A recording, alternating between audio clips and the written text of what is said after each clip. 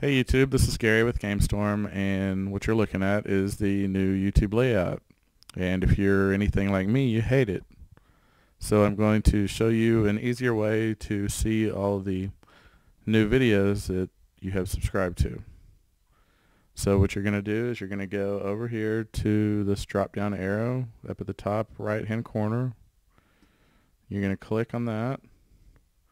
You're going to bring your cursor down to the subscriptions and you're going to click on that. And it's going to bring you to this page right here with all of the new videos from all of your subscribers which is selected right here. Or you can actually go to each of your subscriptions individually and see all of their videos that way. But you have it on new videos and if you watch a video and then come back to the screen then the video should disappear. That way you know you've already watched it. But instead of going to the crappy new YouTube homepage, you're going to want to bookmark this page right here so you can just come to it every time. And as you can see, I've done that right here. So I just click on that bookmark and it brings me straight to my subscriptions page.